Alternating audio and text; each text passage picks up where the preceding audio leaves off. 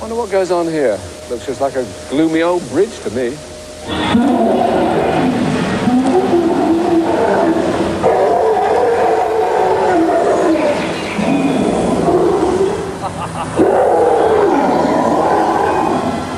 Bad temper. Bad breath as well.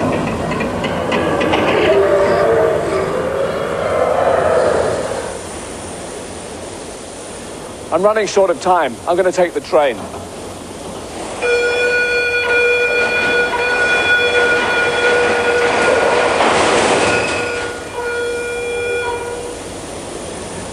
You go to Waterloo?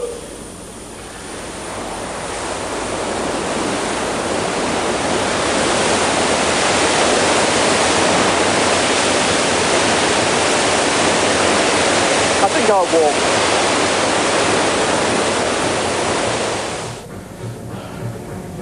Well, it's nice to get some fresh air. It's so pleasant out here. It's really peaceful, you know.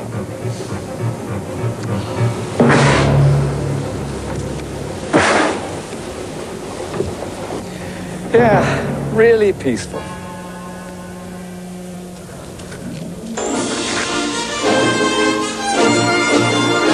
Is that our man arriving?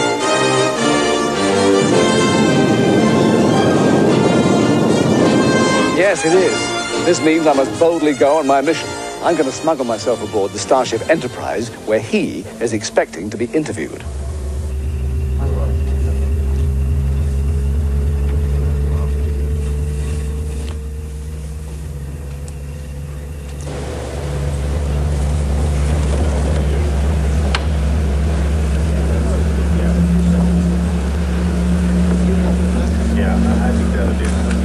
Good afternoon, Captain. My name is Michael Aspel. I've flown over from uh, London. I know you were expecting to be interviewed, but in fact, my mission is to say to you tonight, William Shatner, this is your life. You're kidding. No, it's the real thing. Oh, my Lord. I have seen this show in the United States. You know, the, the idea that you stole from America. Yes, yes. The, uh, I've seen it, I can't believe it. You mean you're actually doing this? Your life. We've got a studio waiting for you with lots of data to punch up. As far as I know, there's only one way to travel. It's the transporter room. You know the way. Well, zap me there. You, follow on, sir.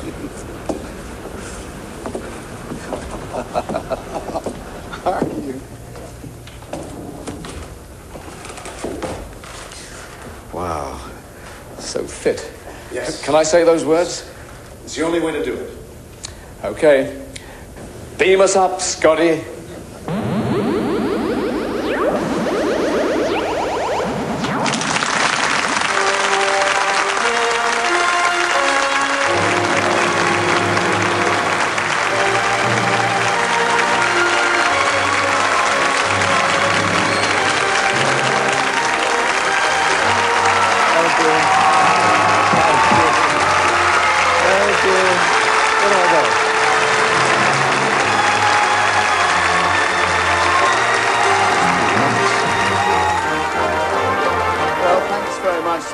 Enterprise's Admiral and uh, producer of Star Trek V, Harve Bennett, for permission to board your starship and for your many friends here for their help since we beamed into Hollywood.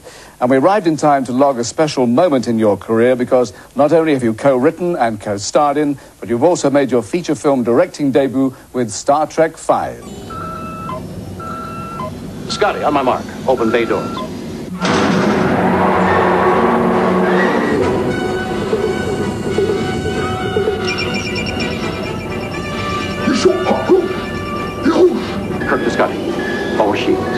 Sir.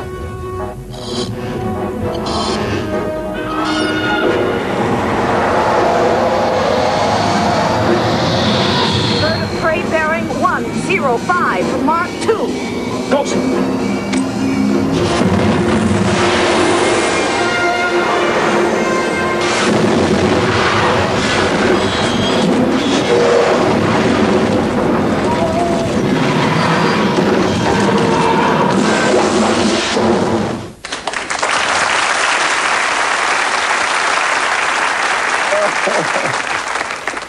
it's hard to believe that Captain Kirk returned to Earth 20 years ago at the end of the last television series, still being watched in more than 100 countries. Let's go back in the computer.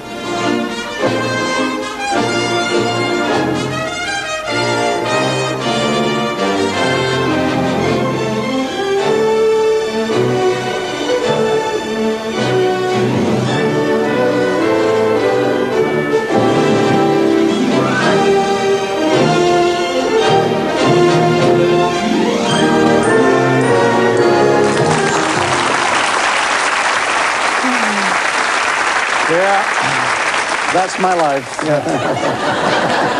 It looks tough, yes. Of course, you've starred in many other feature films and television series, including Los Angeles cop T.J. Hooker.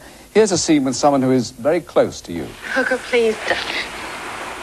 You're frightened. I want you to help me. I'll help you. No.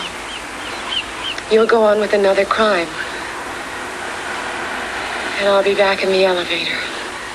Now, please, Sergeant, I really must get back to my children. Anne, somewhere, somewhere between us, there's got to be a compromise. Actress, producer, and writer, she stars with you on screen as well as off, your wife, Marcy Lafferty.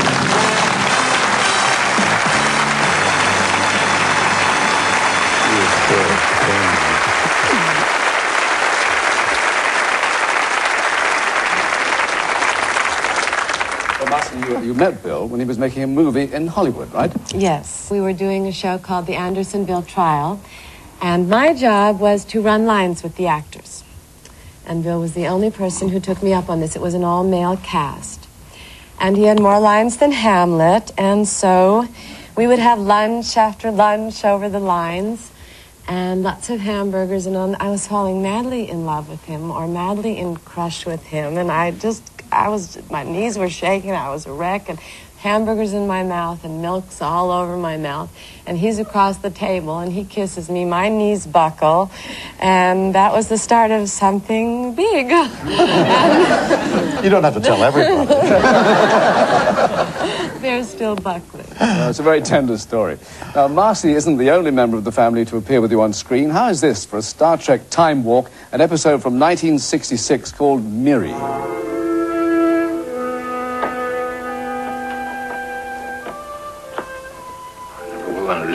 Medical mind.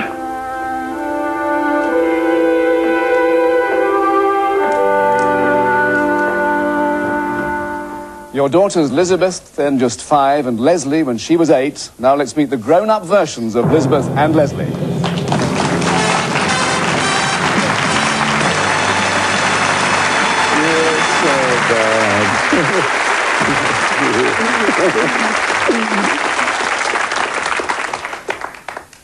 Now, Leslie, your dad had a particular reason for casting you and Elizabeth in Star Trek. That's true. Uh, he didn't want us to get any glamorous notions of what acting was all about. Well, just how tough was it, Elizabeth? really awful. he made us sit there hours and hours, and we got this idea that it was really quite awful. And, and uh, so I decided to be a writer, and Leslie became an advertising art director. And And you, To as a writer, us. of course, have just done a book about your father directing Star Trek V. But Bill, the youngest of your daughters, refused any cure for the acting bug, and sure enough, she appears on the Starship Enterprise in the new movie. Doesn't anything work on this ship? Starfleet's got some nerve sending us out in this condition with this handful of people. Captain on the bridge. Captain, Starfleet transmission online. Put it on the view screen, will you, please? Ah. Can we have a little quiet, please? Back on Earth tonight, your daughter, Melanie.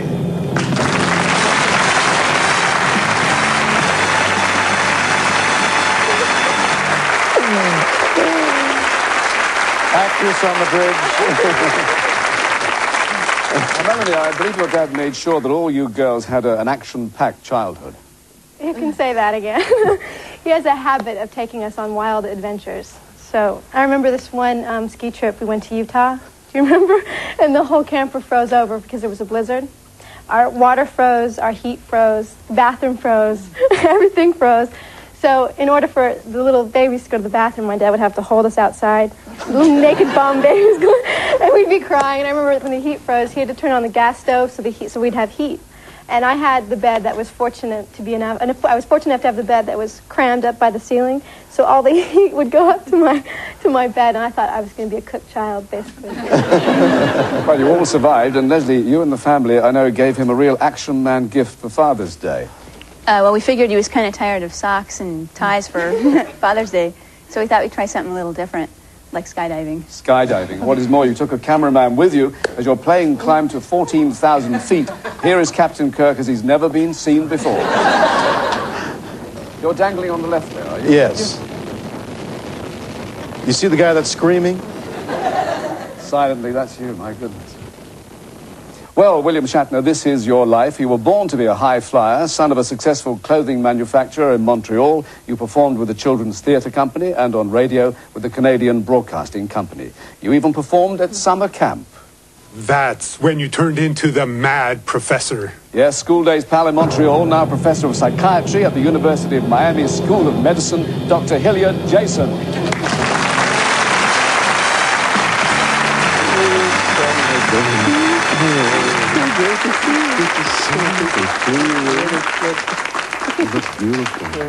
Hill, what's, uh, what's all this about the mad professor? Well, when we were teenagers, a little more than 20 years ago, Bill and I, Bill and I volunteered to be counselors at a summer camp for children. And as our one talented member of the staff, it fell to Bill to put on the definitive skit. And Bill invented a skit that became so popular he was forced to repeat it over and over again as the mad professor. I wish we could see it now, wouldn't that be nice? Well, as a matter of fact, You're we kidding. thought that you rehearsed it enough that you're ready for network television. You don't understand. This might have worked in front of a group of kids, but in front of a discerning audience. You want me to try this, huh? I think you can do it. All right. Jekyll and Hyde. I have a magic formula here.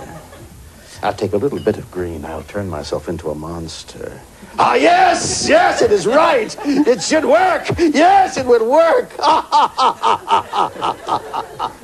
I will drink this and turn into something hideous. It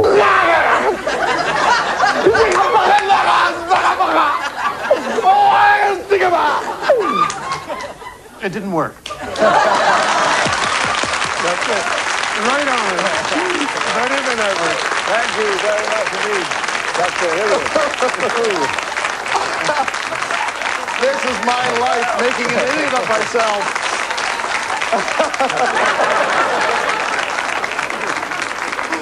Thank you, Hill and Bill. All I hope is you didn't drink that. right, that was a lovely moment. Now, on, on with the story. Uh, from Schoolville, you went to Canada's McGill University, taking a degree in business studies. Joining your father's company was a general idea, but you combined business with the theatre, getting the assistant manager's job at the Mountain Playhouse in Montreal. The lure of the footlights took you to rep in Ottawa, and then the famous Stratford, Ontario Shakespeare Festival, where you won the Tyrone Guthrie Award. On Broadway, you co-star in A Shot in the Dark with an American actress who found fame as Sally Bowles in I Am a Camera. Tonight, she's on stage in Baltimore, Julie Harris. Hello, Bill. Hello, It's wonderful to be able to greet you here in Baltimore, Maryland, before I go on the stage for a play. It's a and pleasure to offer see you you. my love and congratulations for tonight and always.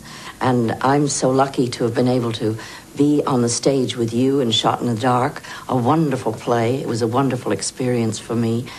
Let's do it again. Let's go back to Broadway. My love to you. Bye.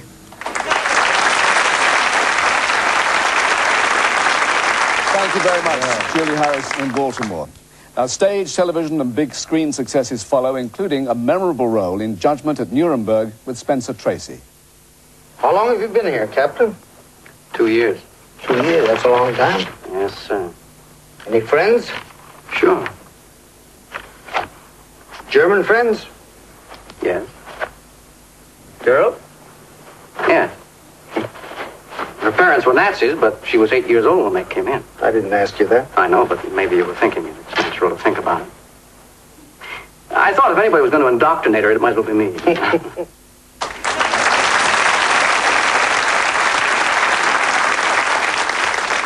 Yes, that was a very fine film, and uh, there you are with Yul Brynner in The Brothers Karamazov. And then comes the call to join Star Trek, and the first series goes out in 1966. Captain Kirk is teamed with the starship's science officer. He's part human, part Vulcan. Spock's the name. These days, he's also writer and director Leonard Nimoy.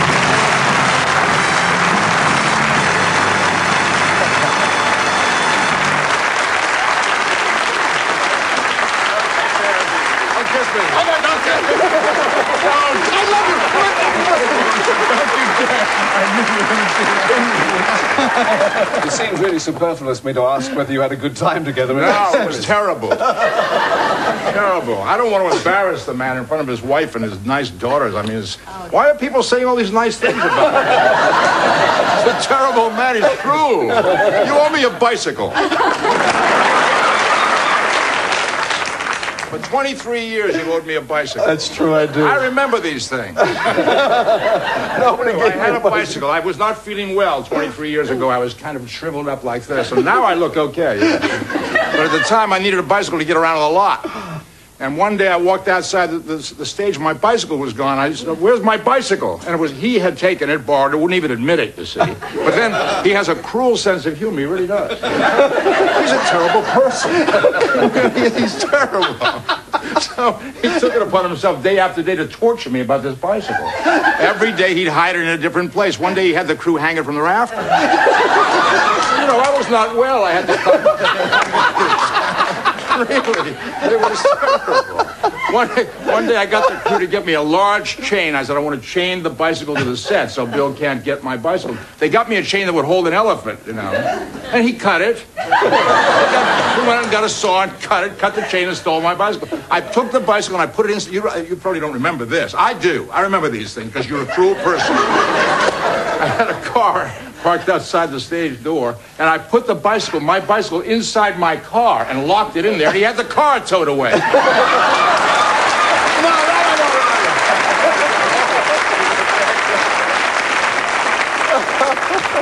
Thank you, Leonard Nimoy. What a tribute. What a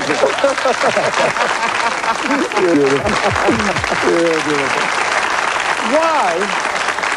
Why is everybody you're calling on stage six inches taller than I am? They're all giants. I know the feeling. Well then, since Star Trek, Bill, you've uh, you've played countless roles here in America. In Britain, we became very fond of that impassioned cop, T.J. Hooker. Did you get a composite description from the witnesses at the hamburger? This is it. He ran out just before the fire.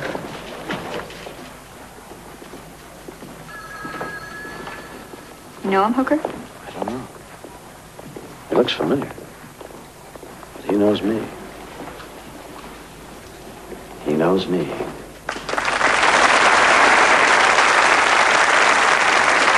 are two of your buddies from that series, Richard Herd and Adrian Zmed.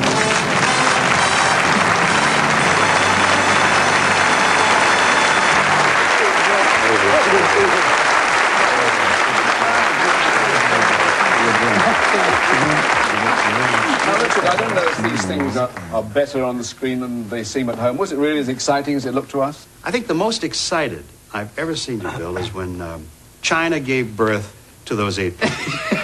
I mean, he was on the phone all the time. I think you, I, I think you slept in the uh, where, where they were born a couple of evenings, something To of that keep them sort. company. To keep them company. Somebody had with to the somebody had, sleep. yeah. Now, that was uh, there was a lot of excitement, but that was such sparkle and excitement in his eyes, and it's still there. And long may it live in those eyes, Bill. Pleasure. Adrian.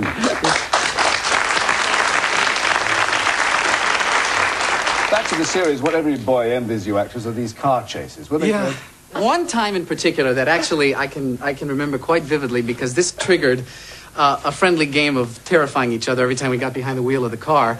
Uh, was there was this shot we were out on a, on a on a country road it was about a mile long there was this shot where we had like three cameras set up one was on top of a mountain another one was down at the, the spot where the car was supposed to stop and Bill, uh, the director told Bill uh, to uh, just quickly come down the mile stretch and stop on the mark, and we were to get out of the car and chase uh, a bad guy.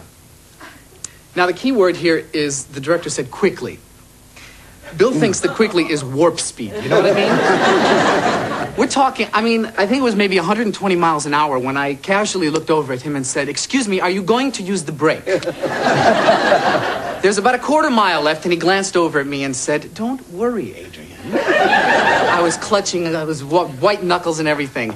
Well, he put the brakes on. There was there were clouds of smoke coming from the back of it, a patch about a quarter of a mile long.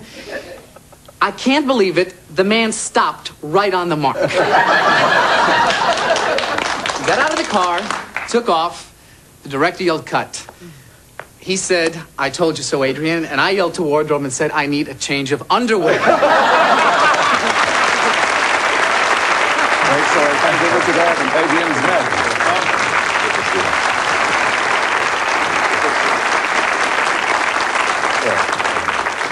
Oh, and in case you wonder what's happened to Stacy, we have tracked her down, and she reports to you now, Heather Locklear. Hi, Bill. Guess who? I'm sorry I can't be there with you. I just wanted to say that it was great working with you on TJ Hooker. I learned so much from you. You were always fun to work with, always had a great sense of humor, a great sense of humor. And, um, and congratulations on all of your success as an actor, a director, a writer, and have a great time tonight. Bye. Thank you very much, Heather Locklear. Now, Bill, as I was flying here to Hollywood, I was reminded of another airborne drama of the skies in which you appeared, Airplane 2. Downscope. Fate can play a strange game sometimes, Lieutenant. Fate, sir? Stryker wipes out his entire squadron over Macho Grande. Now those people's lives up there are in his hands. I guess irony can be pretty ironic sometimes. his ship now. He's the top dog. The big man. Numero uno honcho.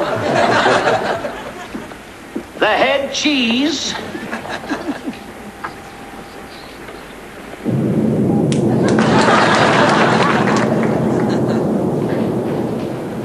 Just hope he has the right stuff. Let's go.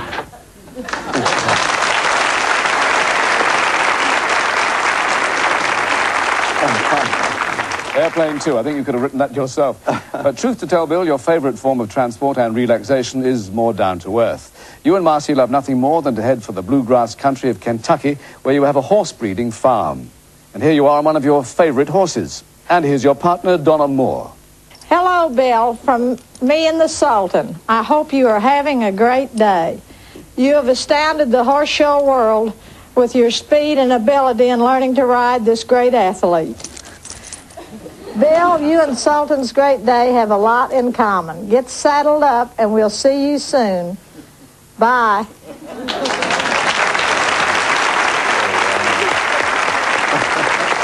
Thank you, Donna.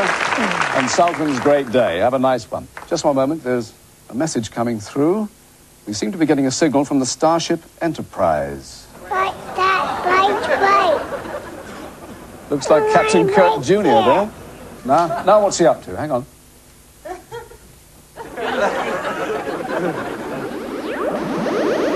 That's the way to do it. Being himself down. Come on down then with your father Gordon, your 20 month old grandson Grant.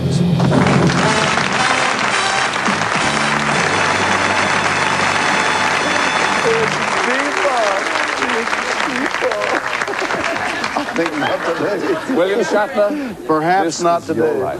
This is my. This is it. That's it.